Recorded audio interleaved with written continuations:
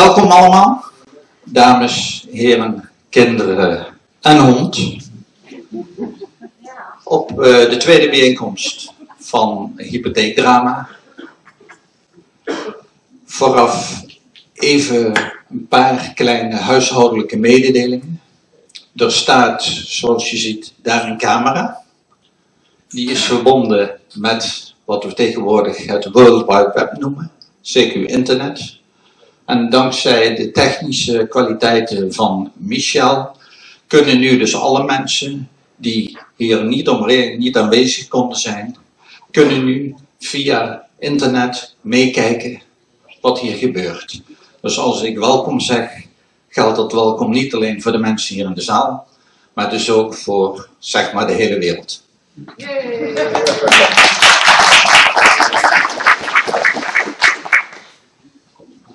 Dat betekent dat die camera met die microfoon dus alles waarneemt wat er in de zaal gebeurt. Dus willen de mensen thuis kunnen horen wat er gebeurt, is het wel handig dat er rondom de microfoon niet te veel rumoer is. Dus het vraagt een beetje discipline van de mensen daar een beetje in de hoek. Met koffielepeltjes, met hoesten, et cetera, et cetera. Maar we gaan gewoon kijken wat er van komt. Hypotheekdrama. Wat gaan we doen vandaag? Um, we beginnen met een paar kleine huishoudelijke mededelingjes. Daarna is er een presentatie waarvan je hier het scherm al ziet.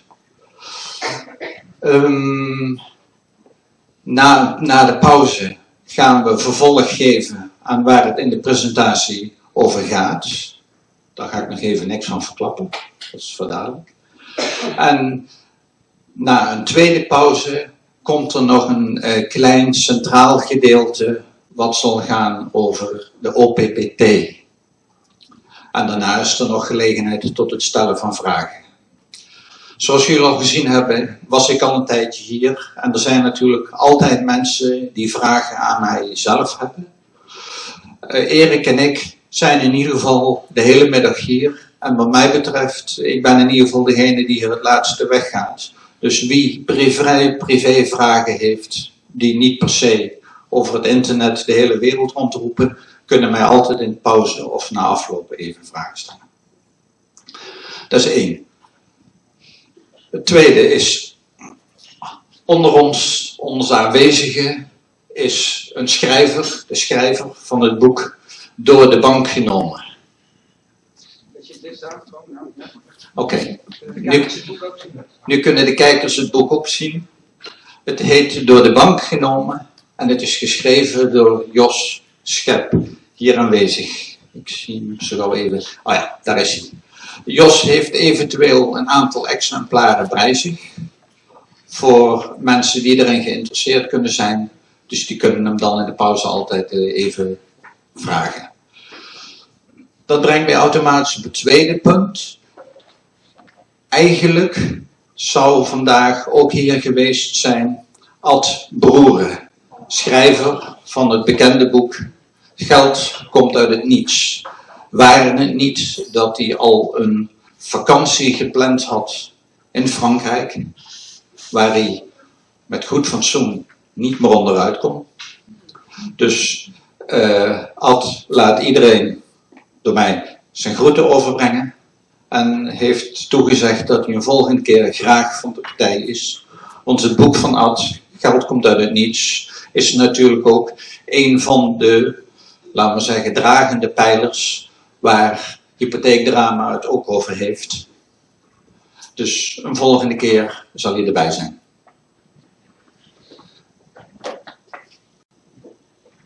In de laatste nieuwsbrief met de uitnodiging voor onze bijeenkomst hebben we gezegd van als we hier bij elkaar komen en sommige mensen hebben heel ver moeten rijden, dan is het niet meer als netjes dat als je hier aankomt dat er een kopje koffie en een kopje thee van het huis klaar staat. Nou, dat is bij deze. Verdere consumpties kun je aan de bar halen en zijn uiteraard gewoon voor eigen rekening. In uh, vorige ruimtes waar we bij elkaar kwamen, hadden wij, dat was een beetje een gevleugeld woord geworden, de collectepot voor donaties en bijdragen in de zaalhuur en het organisatiële gebeuren, zeiden we altijd, de collectepot staat op de piano. Oh, nou hebben hier op de piano. Ja, dat is altijd leuk. Um, wat ik mag gaan doen is de collectepot op de piano zetten. Uh, de kijkers thuis op internet mogen geloven dat er hier in de ruimte een collectepot op de piano staat. Even kijken. En dat is het even wat de mededeling betreft. Ik had al gewezen op de camera. Er komt dadelijk een uh, presentatie. Ik uh, had mezelf voorgenomen om, juist omdat het dus ook de hele wereld rondgaat. En in principe alle bankiers van de Rabobank, tonnen met ABN AMRO en alles, in zouden kunnen loggen. Zouden kunnen kijken wat er hier gebeurt. Had ik dus bij mezelf voorgenomen, ik ga in de presentatie wel wat vertellen. Maar er zijn een aantal dingen die niet in de presentatie komen, die komen achteraf. Want zoals het een goed kaart betreft, hou je altijd wat troeven achter de hand. Dat doen we dus uh, bij deze ook. Betekent dus ook dat voor mij tegelijkertijd een mooie controle is om niet al te lelijk over bankiers en zo te gaan doen, want dat gaat dan direct weer het internet rond. Oké, ik stel voor dat we dan maar beginnen met de presentatie. Dan pak ik even mijn techniekdoosje. Is de presentatie voor iedereen goed uh, zichtbaar? Niemand last van het licht of zo? Oké, dan ga ik weer even hier staan. Trek maar aan de bel als ik uh, te veel heen en weer loop. Dus, uh, even kijken wat dan de techniek doet. Ja, het komt hij aan. Mogen we hopelijk zijn. Dat draait er iets. Ja. Presentatie, frauderende, frauderende bankiers, zegt eigenlijk dus al iets. Wat gaan we in de presentatie doen? We gaan het over wat feiten hebben. We gaan het over juridische procedures hebben. En we gaan het over een plan van aanpak hebben. Ik zie links en rechts wat schrijfblokken op de tafel liggen. Iedereen die zich hier aangemeld heeft, krijgt deze presentatie per e-mail toegestuurd. Dus het is prima als je voor jezelf notities maakt. Maar wat hier dus nu verteld wordt, of wat ik laat zien en daarbij vertel, dat heb je dus sowieso al.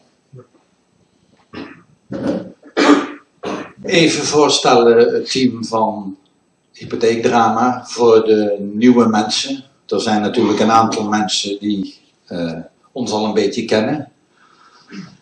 We doen het met z'n tweeën. Erik van de familie Ten Hopen. Erik, zwaai eens even naar de mensen. Hij staat aan de bar.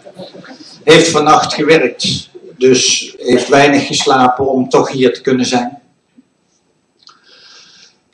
Erik heeft een hele hoop hobby's. Vandaar dat zijn dochter wel eens zegt: Help, mijn vader heeft een hobby. Um, Erik is uh, min of meer vrij ondernemer. Hij is meditatieleraar en coach.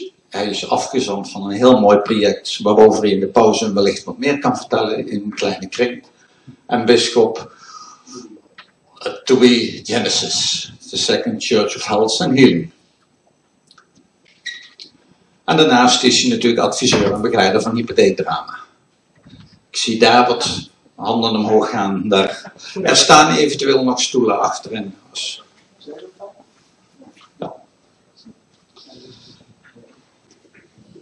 Ja. Wie ik ben is, of wie ik ben, wat mijn naam is, moet ik eigenlijk zeggen.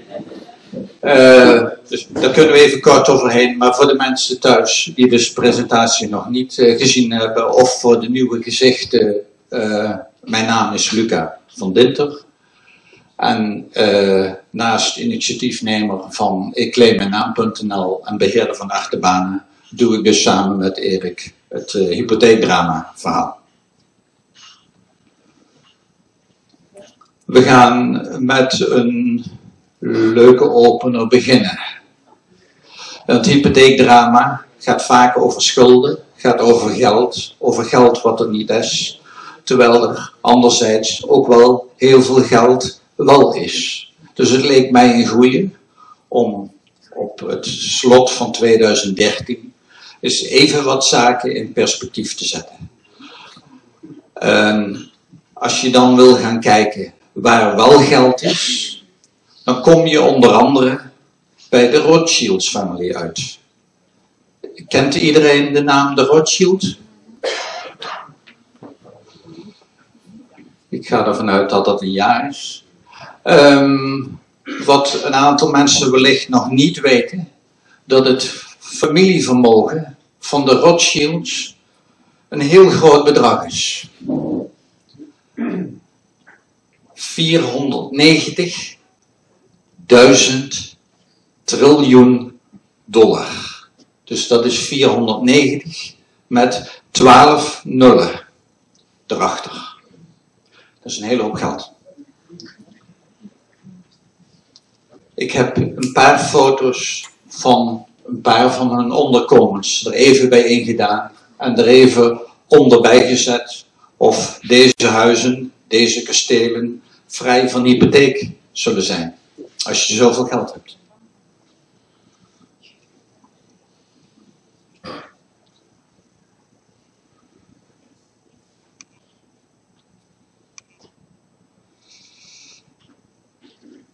Als je zoveel geld hebt, 490.000 triljoen dollar, en je weet dat er op de wereld 7, miljoen mens, 7 miljard mensen wonen, en je zou dat geld uitdelen, dan zou dat betekenen dat iedere mens op de aarde 70 miljoen dollar heeft. Iedere man, iedere vrouw, iedere, ieder kind 70 miljoen dollar. Vandaar dat ik me dus afvroeg van hoezo armoede? En dan hebben we het over de Rothschilds. Maar we weten dat de Windsors, de eh, Engelse koninklijke familie, steenrijk is. We weten van de oliebronnen in het Midden-Oosten dat die heel veel geld hebben. We weten dat Bill Gates oprichter van Microsoft, miljarden heeft. Hetzelfde geldt voor de superbelegger Warren Buffett. We hebben de Oranje Nassau's met een aanzienlijk familievermogen. We hebben de Rothschilds, enzovoort, enzovoort. Vandaar dus dat ik in het rood gezegd heb: armoede is doelbewust gecreëerd en wordt nog steeds in stand gehouden.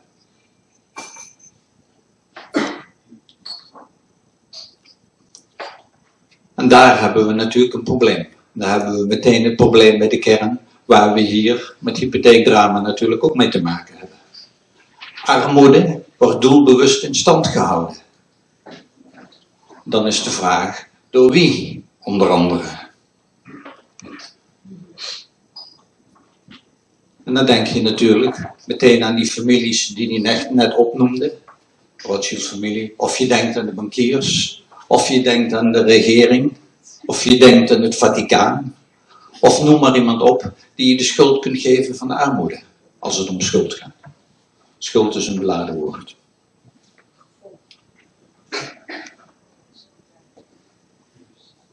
Eerlijk gezegd is het mijn bescheiden mening dat armoede in stand gehouden wordt door onze overtuigingen door onze visie en door ons gebrek aan handelen. Oftewel, wij zelf. En dan bedoel ik niet hier de ene of de andere mens, maar in zijn algemeenheid wij met z'n allen, met zeg maar bij 7 miljard mensen, houden in ons denken, in onze maatschappijvisie, in ons handelen of niet handelen, houden de armoede in stand.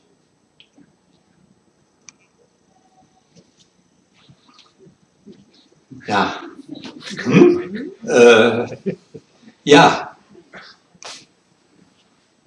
Als wij niet in onze eigen kracht gaan staan, maar voortdurend autoriteiten buiten onszelf zoeken om onze problemen op te lossen, blijven we altijd maar weer vragen om leiders, om meesters, om koningen, om staatshoofden, om pauzen. En die mensen, die verlenen we dan de macht. We maken ze tot machthebber. Het nadeel van mensen die de macht hebben, is dat ze die macht graag willen behouden. En nog mooier, die macht willen vergroten. Niets menselijk is ons vreemd.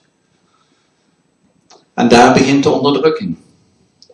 Want er onderstaan systemen met macht. Met machtshandhaving, met machtsuitoefening en met machtmisbruik. En daar geraken we een beetje op de kern waar het vandaag, vanmiddag, ook over zal gaan. Maar machthebbers hebben die macht omdat wij onze macht aan hun geven. Of dat nou de paus is, of premier Rutte, of een bankier, of de politieagent, of wie dan ook. Wij geven onze macht aan hun. Dus wat is de oplossing? Stoppen met het weggeven van onze macht. En dat zal leiden tot een overgangsperiode waarin een transitie ontstaat naar een samenleving waarin gehandeld en geleefd kan worden. In vrijheid en zonder dwang.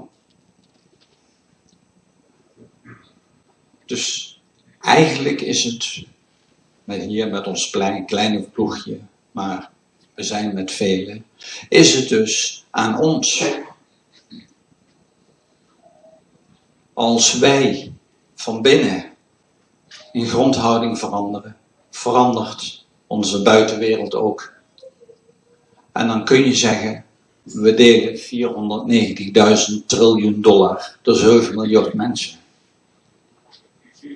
Dus wat we vanmiddag niet gaan doen, is naar andere wijzen. Dat wil niet zeggen dat we een aantal problemen met hypotheken, met bankiers, niet bij naam zullen noemen. Ja, daarvoor zijn we hier. We werpen licht op dat wat er is. Maar we gaan niet met beschuldigende vingers wijzen.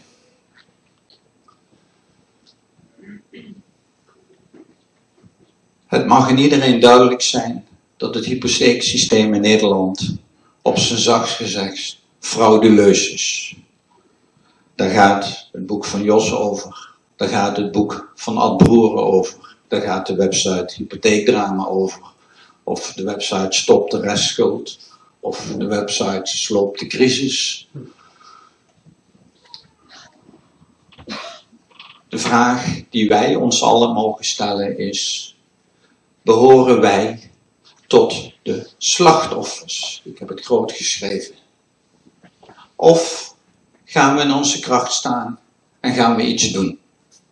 Bijvoorbeeld ieder op zijn of haar wijze, of wij als collectief, door te stoppen met het verlenen van onze macht aan bankiers, aan executeurs, aan deurwaarders, aan de regering, etc. etc. etc. Dat is voor ieder van ons een interne keus.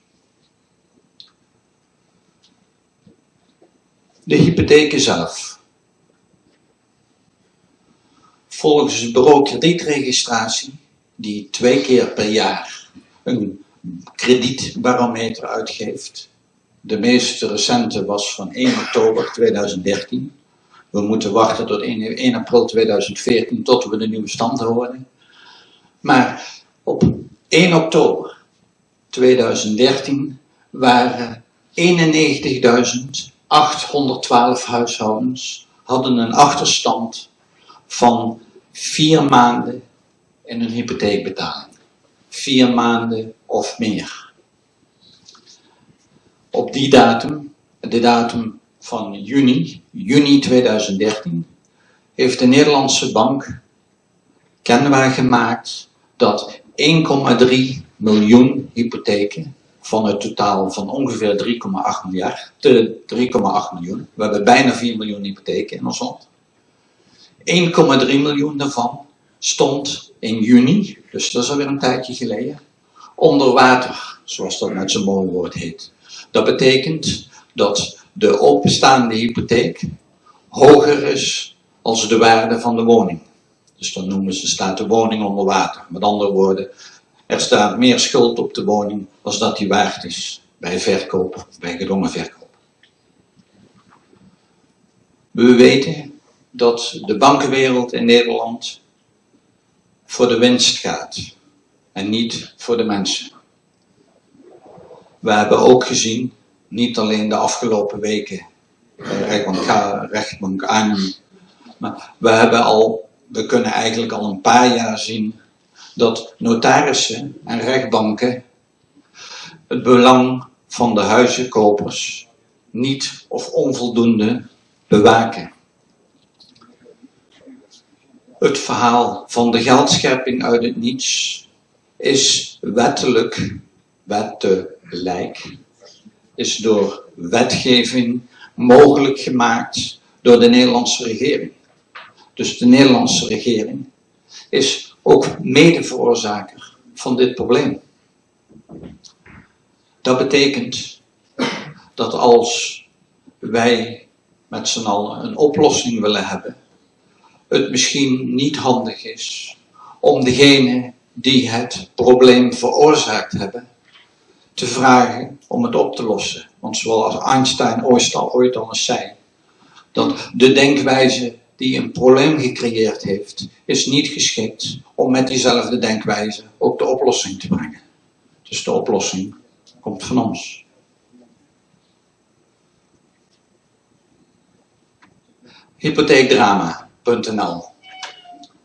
Even een korte terugblik. We zijn in juni van start gegaan met de website. Dat, uh, we hebben afgelopen maart, we staan nu op uh, de voet van het nieuwjaar, afgelopen maart hebben een aantal mensen een nieuwe impuls, een hypotheekdrama gegeven, want het, het verwaterde een beetje. En enkele van de, initiatiefnemers zijn vertrokken en Erik en ik zijn daar het overgebleven. Afgelopen 14 juli hielden we onze eerste bijeenkomst voor onze, wat we dan even achterban noemen. Uh, dat, was in, uh, dat was nog in Utrecht. In dat zaaltje wat maar net groot genoeg was om ons allen te herbergen. Ik weet dat er een aantal van jullie bij waren, maar mag ik even wat vingers zien wie daar toen bij waren? Toch hè? Ja, oké. Ja. Nou, dan, uh, dan weten jullie in ieder geval waarover we het hadden. Het was een gecombineerde, gecombineerde middag samen met achterbaan trouwens. We hadden toen 277 aanmeldingen van mensen die geregistreerd waren bij hypotheekdrama. En we hebben toen afgesproken van dat zijn er wat weinig. We gaan op zoek naar wat we toen nog wisten van 76.000 mensen die in betalingsproblemen zitten met een hypotheek. De voorbeeldbrieven voor het opvragen van de natte inktversie van het hypotheekcontract waren beschikbaar. We kregen een Facebookpagina en sinds november hebben we ook een Twitter-account. Toch hebben we anno 27 december, eergisteren, hebben we 376 aanmeldingen van mensen die geregistreerd zijn bij hypotheekdrama. We, we, zijn begonnen met het maken van een nieuwe vorm van nieuwsbrieven. Onze eerste nieuwsbrieven gingen als bijlage mee in de mail. Sinds nieuwsbrief 3 is de nieuwsbrief in de mail zelf. Dat maakt het stuk gemakkelijker om door te sturen. Het, uh, het mooie van dat programma is dat je ook kunt zien hoeveel van de nieuwsbrieven geopend worden. Het programma houdt gedurende drie dagen bij, als je 376 nieuwsbrieven stuurt, hoeveel van die nieuwsbrieven geopend worden. Dat wil nog niet zeggen dat ze gelezen worden, Maar dan kun je in ieder geval zien, de nieuwsbrief is aangekomen en is geopend. Onze nieuwsbrief nummer 4. En die ging, daarin zat de oproep voor uh, rechtbank Arnhem, de eerste zitting van, wat was het, 16 november, zoiets, 18 november, iets van die. Daar zagen we dat bijna 50% van de geadresseerden binnen drie dagen de nieuwsbrief opende en of las. Dat laten we in de midden. Weet ik niet, gaat ook niet aan. Onze nieuwsbrief, nummer 6, die ging over het vonnis van de Rijkbank. En de executieveiling is door 51,2% van de geadresseerden binnen drie dagen geopend. Dus ja, wat voor conclusies kun je daar nu uit trekken? De cijfers, 376 aanmeldingen binnen hypotheekdrama. En een nieuwsbrief waarvan de helft binnen drie dagen opent. Ik heb in alle bescheidenheid geprobeerd er een paar conclusies uit te trekken. En dat is dat onze nieuwsbrief laat of onvoldoende gelezen wordt. De filmpjes worden wel goed bekeken, 400, 500 keer. Oké. Dus misschien dat mensen meer visueel, visueel ingesteld zijn. Nee, of ja. zo. Ja, BM maakt de opmerking dat de filmpjes uh, veel bekeken worden. 400, 500 keer. ja, 504 noemt Michel. Dus uh, het zou kunnen dat mensen meer visueel ingesteld zijn als dat ze op, de, ja, op een computerscherm een verhaal lezen. Begrijp me goed. Het gaat mij er niet om dat ik dus wil zeggen van het deugt niet dat de nieuwsbrief niet gelezen wordt. Ik heb er ook geen waardeoordeel over. Ik probeer alleen vast te stellen van we sturen nieuwsbrieven, wat gebeurt er? Want tot nu toe is de website en de nieuwsbrief is ons enige middel, naast dat we één of twee keer per jaar bij elkaar komen, is ons enigste communicatiemiddel.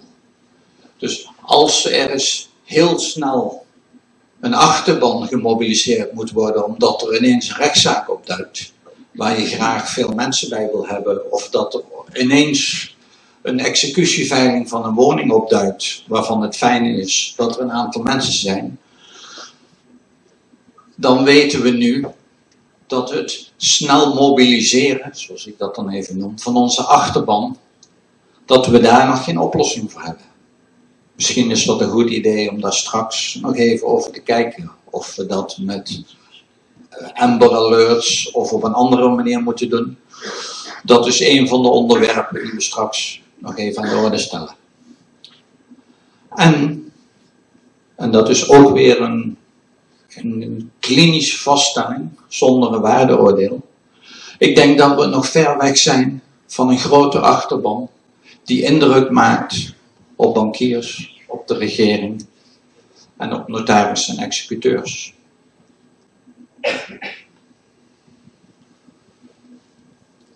Met andere woorden, zolang 1,3 miljoen mensen, of ten minste 91.000 mensen, de groep die in betalingsproblemen is, niet opstaan en in hun kracht gaan staan, zullen er iedere dag mensen uit hun huis gezet blijven worden.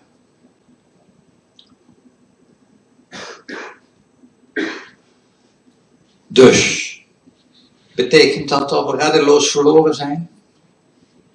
Dat we maar naar huis gaan en hypotheekdrama maar begraven? Nee. Nee, laten we beginnen met onze zegeningen te tellen, om het maar eens een mooi woord te geven. Want wat hebben we dan wel? We hebben een website, we hebben een gemotiveerde kleine achterban, we hebben juridische kennis en, heel belangrijk, we staan in ons recht. Hoe weten we dat onder andere? We hebben het kunnen toetsen in een procedure voor de rechtbank Arnhem. De meeste van jullie wel bekend. Was heel leuk trouwens om daar te zijn een paar keer. We hadden uh, hoge opkomst van mensen die, die wel eens wilden zien wat er gebeurde. Het was, uh, de meeste van jullie zullen zeggen, hebben misschien net als mij wel hele leuke herinneringen aan die keer dat we voor de rechtbank kwamen. En dat zelfs de grootste rechtszaal in de rechtbank Arnhem had een te kleine publieke tribune om iedereen te kunnen plaatsen. Dat was des te grappiger, omdat de rechter in zijn allereerste zitting, die ook al naar een grotere rechtszaal verplaatst moest worden omdat er te veel mensen waren, nog gegrapt had van, desnoods huren we het geld maar. Dat hoefde dan net niet, maar de publieke tribune is, als wij doen wat we doen, altijd te klein. En Rijkbank Arnhem had een grootste publieke tribune zijn 75 zitplaatsen. Nou, we waren er al een keer met meer. Goed, eh, we gingen erin. En ik ga er niet heel veel van vertellen, maar heel kort eventjes. We gingen erin met het idee van we staan in ons recht. En dat gaan we hier ook even vertellen. Degenen die erbij geweest zijn, hebben het verweerschrift gehoord, hebben gekeken naar de rechter en hadden net als mij na afloop zoiets van, oh, dat ziet er goed uit. Dat kon hem, dat kon hem wel eens worden.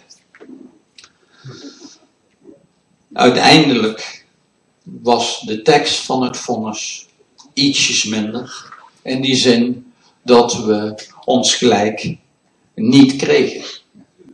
Ik heb het woordje weliswaar niet bij. Waarom? Omdat duidelijk werd, gezien wat we in de rechtbank waargenomen hadden en wat er op papier stond, ik de conclusie getrokken had dat de rechter die we hadden, rechter van acht, bang was voor ons gelijk. Dat zet ik ook op papier en dat roep ik dus ook richting internet. Wat was er namelijk gebeurd op het moment dat hij gezegd had: ja, banken doen aan geldschepping uit het niets. Hypotheekcontracten zijn fraudeleus. Dus ik veeg het verzoek van de Rijkbank, van de directbank en V van tafel. Jullie hebben gelijk, executieveiling gaat niet door. Veel plezier allemaal. Dan had deze rechter de hele bankierswereld over zich heen gekregen. En dan had hij zijn carrière vaarwel kunnen zeggen. En dat heeft hij niet gedurfd. En eerlijk gezegd, het is een hele stap. Ik uh, had niet graag in zijn positie gestaan als ik had moeten zeggen: jullie hebben gelijk, de bankiers hebben ongelijk. Ik vernietig de hele overeenkomst. Ga maar naar huis. Dat vergt even wat moed. Dus doet u aan waarheidsvinding of niet? Ja. Daar zitten ze toch voor? Ja. De geloofwaardigheid van de hele rechtbank gaat zo onderuit. Beja zegt, uh, ze zitten er om recht te spreken en de geloofwaardigheid van de rechtbank gaat zo op deze manier onderuit. Ja, klopt. Uh, ik bewaar de vragen dan even voor. ik vind het wel heel erg actueel. Het is ook niet een vraag, het is niet een opmerking. Opmerking, oké. Okay. Uh, ook na de uitspraak van de rechter bestaat er de mogelijkheid om met de bank in contact te gaan en de zaak toch te redden. Dat is mij één keer gelukt. Ja. Wat mevrouw zegt, die waarheidsbevinding, die kun je ook daarna nog een keer met die bank op tafel leggen. En vervolgens zeggen, dan gaan we mee naar buiten. Als jullie het zo willen spelen, doen wij iets terug. Ja, heeft iedereen dat verstaan? Dan bedoel ik, kom ik maar even terug aan ja. op jouw verhaal, onze eigen ja. kracht. Ja. Daar moeten we er steeds wat meer van uitgaan. Want ja. we weten, uit Den Haag, rechters, we hebben er niks van te verwachten. Ja, Jos geeft dus nog een keer aan dat we niet al te veel van de rechters hoeven te verwachten. Maar dat we dus ook na een vonnis altijd nog bij de bank in contact kunnen treden. In onderhandeling, uh, gewacht maken van publiciteit, et cetera, et cetera. En dat het dus, hij onderstreept het nog een keer, goed is om in onze eigen kracht te staan. En de pauze staat aan onze kant, hè? Heel goed, Ans. Die had ik er helemaal niet bij gezet. Anders maakte dus nog even de opmerking bij dat met de motor proprio de paus dus aan onze kant staat. En los van de motor proprio heeft de paus al in eerdere uitlatingen het hele financiële geldstelsel scherp veroordeeld. Daar viel zelfs het woordje Satan bij. Ehm, ik ga verder niet te veel over, het, uh, over ons verweerschrift en het vonnis zeggen. Ehm, voor internet en voor alles wie, de publica, wie deze presentatie krijgt. Hier staat ons verweerschrift en het vonnis. Voor ons zijn alleen de vervolgstappen van belang. En daar sluit ik eigenlijk al een beetje aan op wat Jos zei. Van wat gaan we nu doen? We hebben een vonnis waar we. Wat volgens de tekst van het vonnis ons niet blij stemt. Eh, het mogen duidelijk zijn. We hadden wellicht iets anders verwacht. Ik ook. Um, maar doordat de rechtbank ons dus in het ongelijk stelt en zo valikant zegt van wij zoeken niet naar wat waarheid is, wij zoeken niet naar recht is, wij vegen alles zonder te bekijken van tafel. Zeggen ze dus eigenlijk tegen ons van jullie kunnen kapot vallen. En dan zeg ik, dankjewel, want nu zijn we weer wat wijzer. Wat gaan we doen? Wat zijn we aan het doen eigenlijk? Want ontwikkelingen gaan heel snel. Er is een verzetschrift aangetekend tegen het fonds. Ik kom daar dadelijk op terug. Er is een klacht bij de president van de Rijkbank in Arnhem ingediend. En er gaat hoger beroep tegen het fonds aangetekend worden. Dit is puur het juridische procedurele stukje. We gaan nog veel meer doen, maar dat komt verder op deze middag. Waarom is er een verzetschrift ingediend? De rechter heeft procedurefouten gemaakt. Los van de inhoud wat hij gedaan heeft, zijn horen zittingen volgens een bepaald patroon te verlopen en daar heeft hij fouten in gemaakt. Hij heeft ons inhoudelijk verweer helemaal genegeerd. Hij heeft de directbank zaken toegewezen waar ze helemaal niet om vroegen. En hij heeft ons niet tijdig in kennis gesteld van het vonnis. Voor degenen die erbij waren, we zaten er s'morgens en hij heeft gezegd, ik doe smiddags uitspraak. En hij heeft smiddags uitspraak gedaan en het vonnis alleen aan de advocaat van de directbank gestuurd. Wel wetende en dat is dus waarom deze situatie enigszins uniek is. Omdat wel wetende dat we er de volgende dag al een executieveiling zou volgen. En zo lang op de website hadden gezien van wij zijn daar met veel mensen. Dus um, door het niet tijdig in kennis stellen van het vonnis, werden wij dus, ja, werden wij dus benadeeld in de procedure. En dat is dus een grond voor een, verzet, voor een verzetschrift. Diezelfde gronden zijn ook ingediend als klacht bij de president van de rechtbank. Maar dan niet vanwege procedurefouten, maar door de handelwijze van de rechter. Dat is net iets anders als een procedurevolgorde. Een rechter die dus een verweer van de tegenpartij, ook wel een nawoord, maar de, de, de rechter die dus ons inhoudelijk verweer helemaal negeert, dat is, uh, dat, dat is grond voor een klacht. En idem dito, als hij dus zaken gaat toewijzen waar een, waar een directbank helemaal niet om gevraagd heeft. En het feit dat hij ons dus niet tijdig in kennis stelt, is ook grond van klacht. Waarom ook een klacht? Want immers staat het al in een verzetschrift.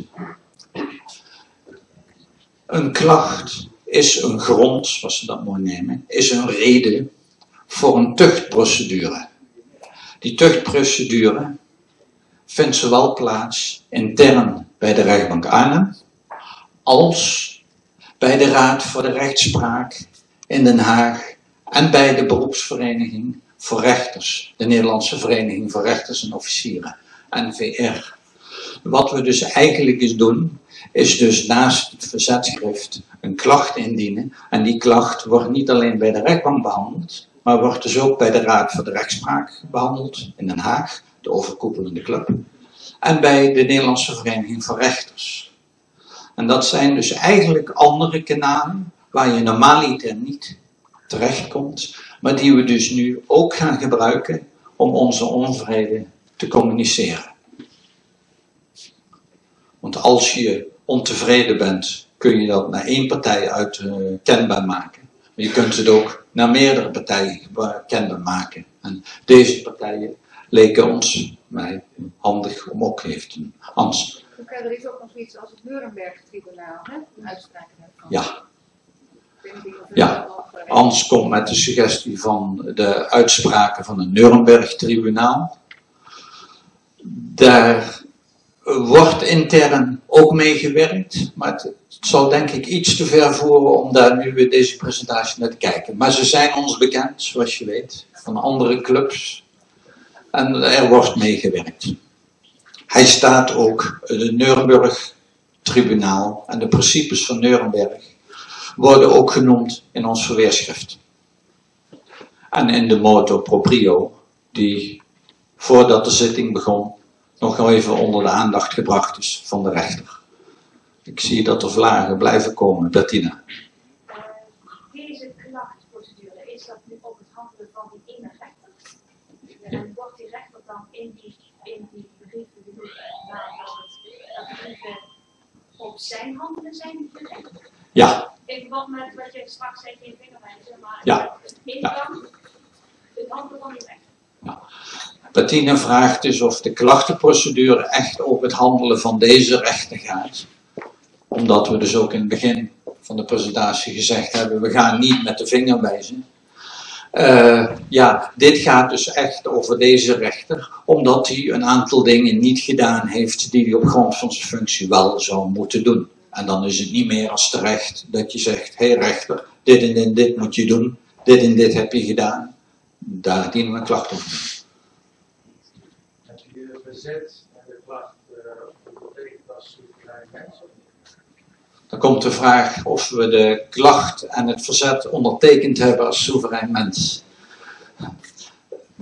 Ja, uh, het, het, antwoord is duidelijk. We hebben het ondertekend als soeverein mens, want het betreft in dit geval de, de executieveiling van een van de soevereine mensen. In principe, maar juridisch gezien kun je ook als je niet soeverein mens bent, een verzetschrift en een klacht en hoger beroep indienen.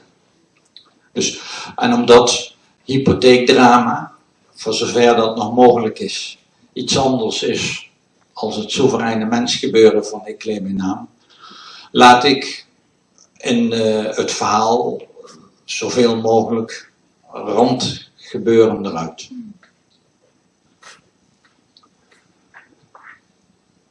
Rechtbank Arnhem, hoger beroep. Een hoger beroep stel je in als je het met een vonnis niet eens bent. Dus letterlijk met het vonnis zelf. Een hoger beroep dient voor een gerechtshof. De eerste procedure komt voor de rechtbank. Dat is een, uh, een rechtsprocedure met één rechter. Als je in hoger beroep gaat, kom je bij ja, het gerechtshof, dat is een iets hogere instantie. En dat is dus een meervoudige kamer, zoals dat in juridische termen heet. Dat wil zeggen, dan zijn er dus drie rechters die over je hoger beroep gaan oordelen. Het jammere daarvan is aan een hoger beroep, is dat het dus geen opschortende werking heeft van het vonnis van de eerste rechter, laat ik hem zo maar noemen. Dat wil dus zeggen, in ons geval, toen de rechter dus op 16 december zei van directbank ga je gang maar, mochten ze 17 december de woning executeren. Dat hoge beroep dient pas volgend jaar juni, juni, misschien voor de zomer, misschien na de zomer. Dus als we daar iets gaan winnen, betekent dat dus in dit geval niet dat de executie ongedaan kon worden gemaakt, want die is al de dag daarna gebeurd.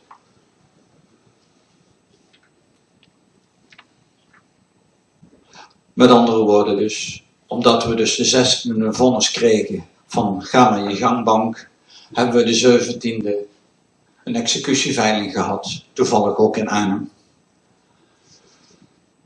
Die executieveiling mocht van de veilende notaris, van Dirk Zwagen notaris in Arnhem, uiteraard niet gefilmd worden. Uh, toch staat er een filmpje op uh, YouTube. Dat is de link. En ik heb onder in het geel toch maar even mijn dankzegging aan Bea en Michel gezet.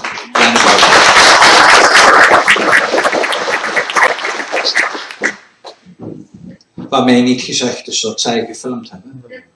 Maar desalniettemin bedankt. Daar ben ik er bang voor, hè?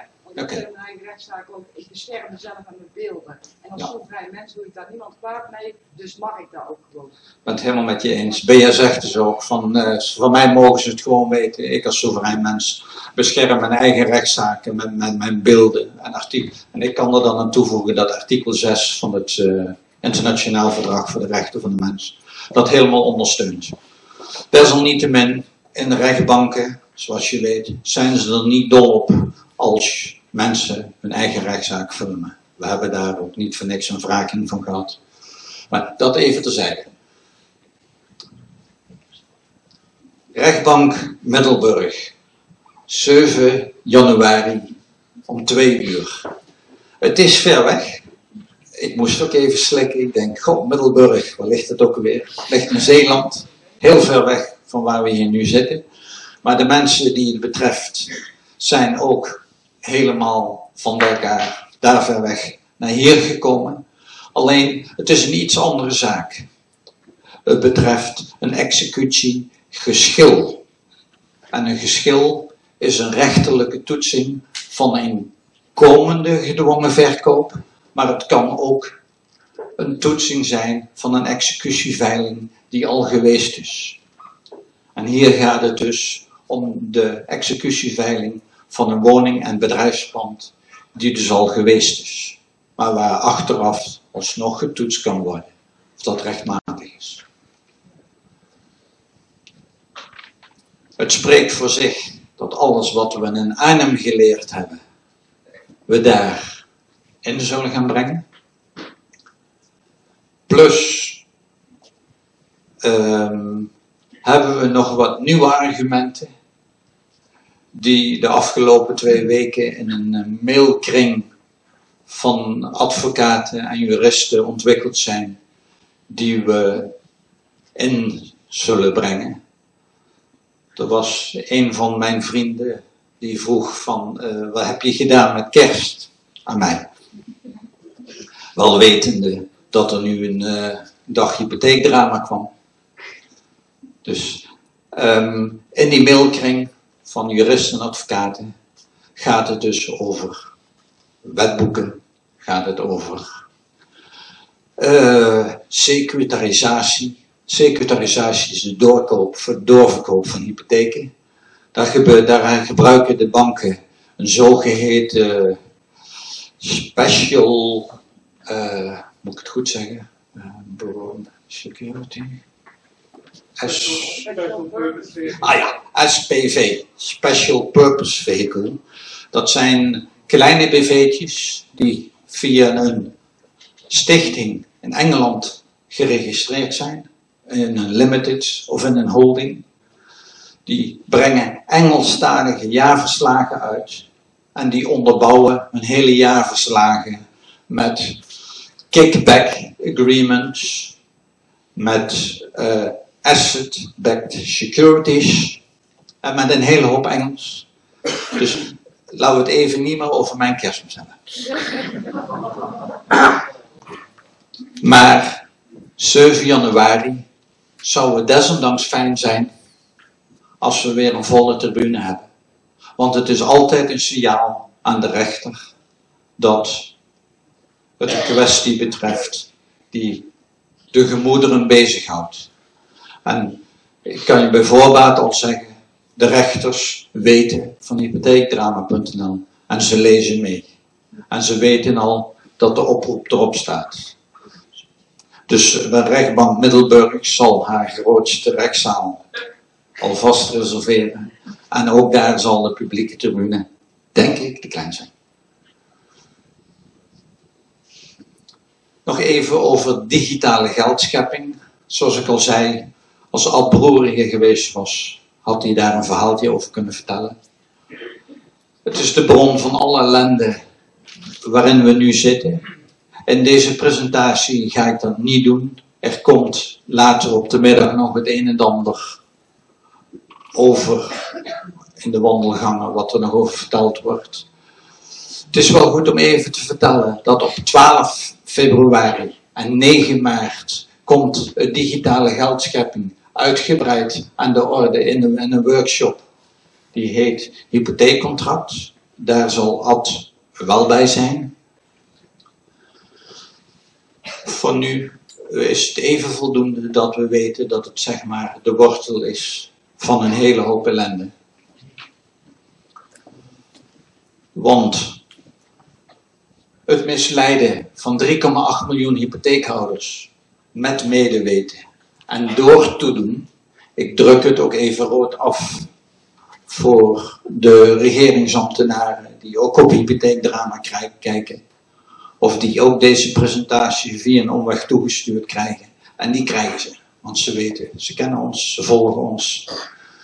Dan zien ze dus staan dat ik hier beweer dat met medeweten en door toedoen van de Nederlandse regering en de autoriteit financiële markten en de Nederlandse bank en alle, alle banken die grootschalige misleiding is, als het aan mij ligt, en ik neem aan dat ik namens jullie allen praat, daar komt in 2014 een eind aan. Want wij gaan hier niet weg vandaag, of wij hebben naar elkaar uitgesproken dat wij in onze kracht gaan staan, blijven staan. En daarnaast staan we ook nog eens in ons recht.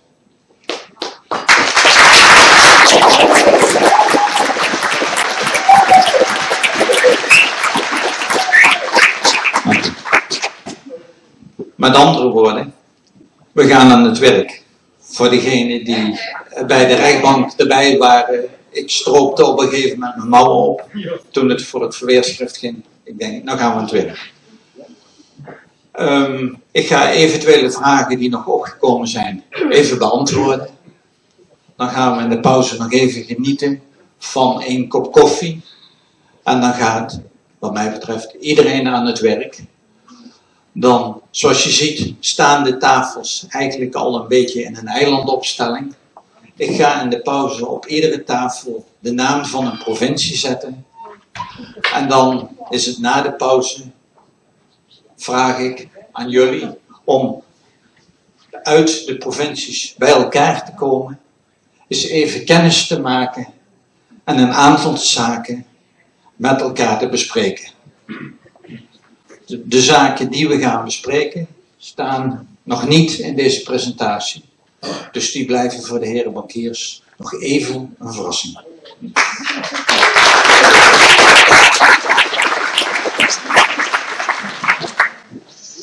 Heeft er iemand vragen voor dit moment? Ik zie er twee. Uh, ladies first. Nou, mijn vraag is eigenlijk, ik heb een rechtszaak in, uh, in Arnhem gehad. Het, wat betreft de executie van de woning. Ik had verweren ingediend tijdens de rechtszaak. Waarvan één verweer eigenlijk benoemd is in de beslissing. En de rest van de verweren gewoon kwamen helemaal niet meer de beslissing voor. Dus ik weet ook helemaal niet wat het antwoord daarop is. Maar bij voorbaat hadden ze aangegeven dat dit een rechtszaak zou zijn en ik kon niet in hoger beroep. Dus ik ben na de beslissing toch nog weer gaan schrijven naar de grafie dat ik het daar gewoon niet mee eens ben. Dat ik graag in hoger beroep wil, omdat er een aantal stukken missen van mij weer. Dat staat gewoon helemaal niet in de beslissing. Maar ik kreeg antwoord terug van de rechtbank, van de griffier, dat ik niet in hoger beroep mocht gaan. Dat is een eh, hele interessante vraag. Ehm, oh, dan moet ik natuurlijk weer een beetje. Nee, laat maar, ik ga gewoon niet even staan. Iedereen kan het ook wel zien, af en toe draai ik even rond. Ehm, er zijn juridische gevallen mogelijk waarin, het, waarin bij voorbaat de mogelijkheid van hoger beroep uitgesloten wordt. Dus het is denkbaar dat in jouw geval, je, of in jullie geval moet ik eigenlijk zeggen, dat het dus niet kan. Echter, dan is het op zijn minst netjes dat de griffier of de rechter er dus bij zegt dat er ten alle tijde eh, cassatie, zoals dat met een mooi weer een woord heet, cassatie aangetekend kan worden bij de Hoge Raad. De Hoge Raad is, zeg maar, ons hoogste rechtsorgaan in Nederland. Eh, op het moment dat de mogelijkheid tot hoger beroep niet open staat, gaat je rechtstreeks door naar de cassatie bij de Hoge Raad. Het is een wat lastige procedure, want je kunt alleen maar cassatie aantekenen bij de Hoge Raad als je een, als je een procesvertegenwoordiging hebt door de advocaat. Daar is wel een omweggetje mogelijk, maar dat is dan dus nou net weer een van de dingen die ik even voor internet liever niet wil noemen. Maar sowieso eh, is mijn vraag aan jou, staat jouw dossier met die uitspraak op hypotheekramen? Dan zou ik in ieder geval graag de uitspraak willen hebben. Dan kan je in het dossier en kan ik eens even naar kijken. Nu kan. Kan ook zelf een bovenprocedure opstarten. Ik, ik loop, als eh, dat mag, ik loop even richting Borgen. Ja, ze kan zelf ook een bodemprocedure opstarten. Als ze zelf Ja. rechtszaak. Oké, ja.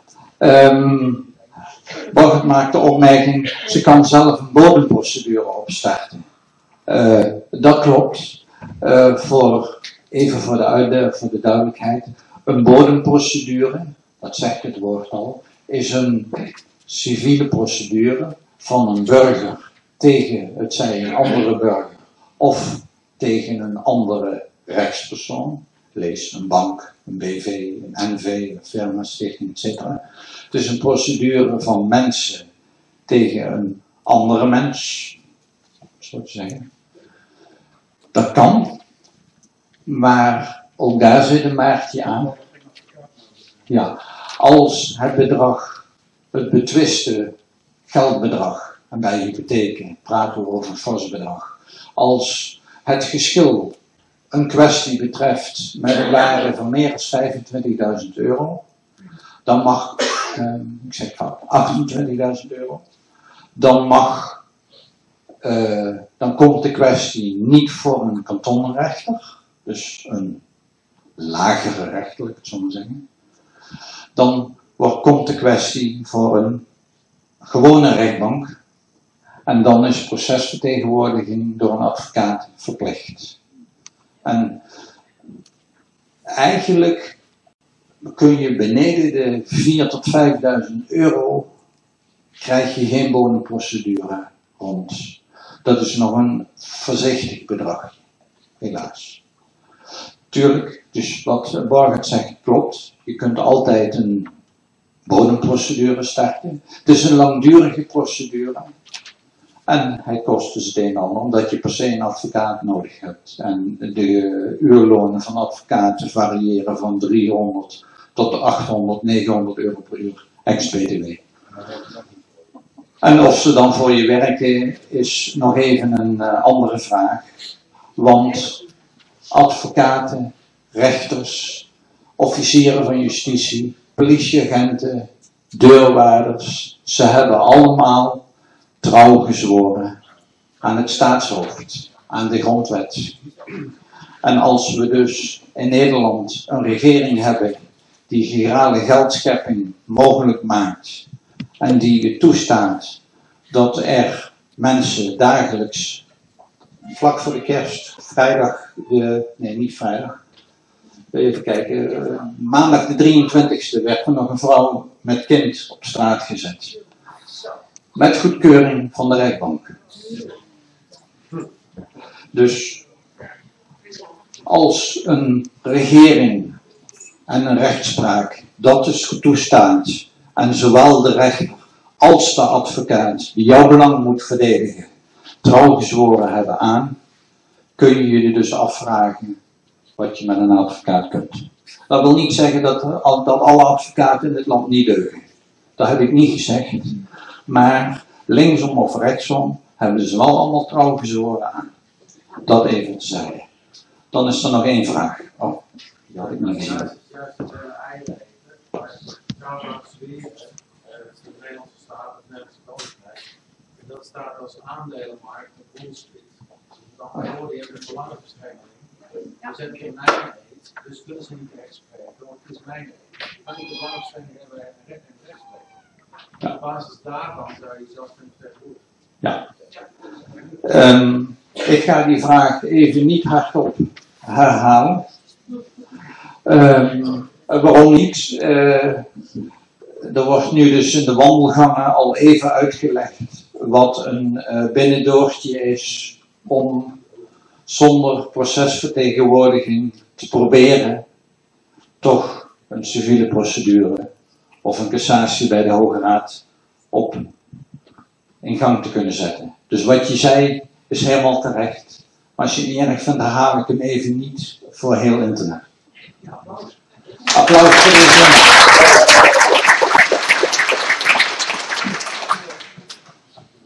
Daarnaast, daarnaast um, ja, zonder nou reclame te maken voor hypotheekdrama, uh, weten we, dat hebben we ook in onze zegeningen genoemd, dat we natuurlijk de beschikking hebben over een aantal mensen die wat juridische kennis hebben en ook, hoe zou ik dat bescheiden zeggen, soms om wat systemen heen gaan. Dus, maar dat laat onverlet dat uh, het verschil tussen gelijk hebben en gelijk krijgen, ja, dat is er natuurlijk nog even. Er was nog één vraag van Leo. is een lange vraag, Leo. Kom ik naar je toe? Twee korte vragen. Twee korte vragen. Dan geef ik jou even de microfoon. Nou, ik kan heel kort. Oké, okay, heel kort. Plaats waar de veiling plaatsvindt, is dat een publieke ruimte?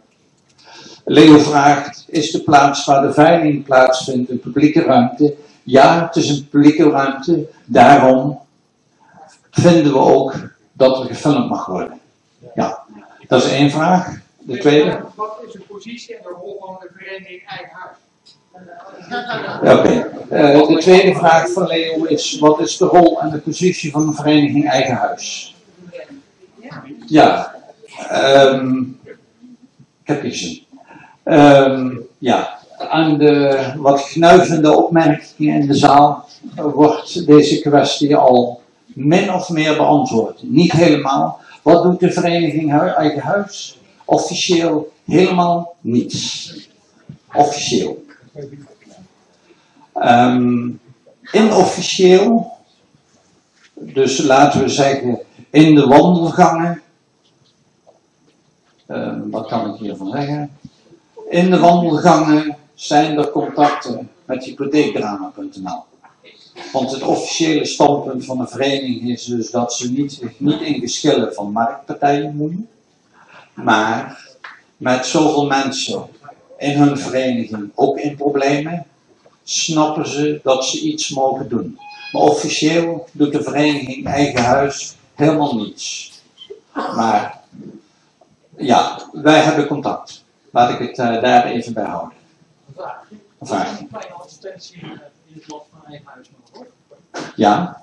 Hypotheekdrama.nl. Ja. Staat er al in? Nee. Ja. Dus die worden met de pet omgegaan, dat ze iets meer dan 300 euro wel gekost Hier wordt de suggestie gedaan door meneer. Zijn, zijn vraag was: uh, mogen we als hypotheekdrama.nl een advertentie zetten in, de, in het blad van Vereniging Eigen Huis? Ik denk dat we die maar even noteren. Want uh, ja, dat kan. En hoe dat verder geregeld wordt, we hoeven er niet voor met de pet rond. Want het zou mij niet verbazen als dat redactioneel kan. Maar daar loop ik even niet op vooruit. Dan is er achterin nog één vraag. Oh, sorry Jos. Ja, ehm, mogen we ladies first? Ja, natuurlijk, dat had je wel. Ik wou alleen maar zeggen, als je even je eigen huis wat waard is, dan doen ze gratis. Maar dat Ja. ik. De opmerking van Christine- is dat als vereniging eigen huis wat waard is, dan doen ze de advertentie gratis. Ik zei net in mijn laatste woorden al dat er redactioneel wellicht wel iets te doen is. Dus ik neem de opmerking even mee. Jos, Ja, ik heb eigenlijk geen vraag. Ik wil graag wat toevoegen. Ehm, ten eerste wil ik toevoegen dat eigen kracht ongelooflijk belangrijk is. Ehm, ik eh, heb het ook mee mogen maken dat ons huis executeel verkocht is en zelfs gekocht door een gelieerde BV van de Rabobank die hem twee maanden later met dikke winst verkocht. Eh, ja, toen ben ik eh, heel erg wakker geworden, want je bent natuurlijk, eh, nou ja, je bent murf van de ellende die op je dak. En ik heb toen dat boek geschreven was, heb ik me aangemeld bij de AFM. Daar kom je zo niet binnen, maar als de heren wat krijgen, in dit geval een boekje, mocht ik wel even langskomen. En ik heb mijn verhaal daar toen gedaan. De dag daarna bij de Rabobank een afspraak gemaakt met de directie. En binnen twee tellen was de winst weggepoest, want dat kon natuurlijk niet. Ik wil er overigens wel mee aangeven dat de toezicht van de AFM niet zo scherp is als dat we denken. Want de BV Bodemgoed, die mijn huis aangekocht heeft, bestaat nog steeds. En doet dit waarschijnlijk ook nog steeds. Ehm, ik begeleid nu mensen die problemen hebben met de bank, met verzekeringsmaatschappijen, met allerlei andere instanties, gemeentes, noem het allemaal maar op. En eh, ik kom elke dag achter dat als je ervoor gaat, dat je heel ver kan komen. Ten meer ook omdat de mensen die veel problemen hebben vaak helemaal murf zijn en geen constructief gesprek meer kunnen voeren. En daar ben ik dan voor. Natuurlijk heb ik mijn emoties, omdat ik het allemaal zelf meegemaakt heb, maar ik anticipeer op dingen die ik meegemaakt heb. En daar kunnen we een heleboel mee winnen. En wat ik ook graag wil melden is negatieve publiciteit voor banken en dat soort instellingen. Daar zitten ze al helemaal niet meer op te wachten. Want je zal een bankier zijn die op een verjaardag zitten. Ik denk dat iedereen een stoeltje opschuift. En daar zijn ze onder, daar, zover zijn we al. Vanuit Den Haag, waar ik een aantal keren ben geweest, hoeven we niets meer te verwachten. Maar dat heb je al helemaal uitgelegd. Dankjewel.